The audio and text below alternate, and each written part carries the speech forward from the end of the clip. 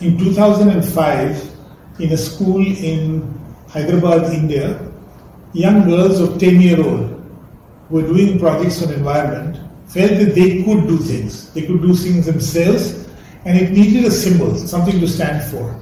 So they came up with this idea of a handprint. And in 2007, uh, CEE launched it at a UNESCO International Conference for the whole world to try and see how they can integrate action, positive action for the environment in school education. It's very important that children understand that their actions matter because they really do. And today people need to act while they learn, act every day, and act in school, in their community, themselves, and in their family. So, handprint, my actions matter.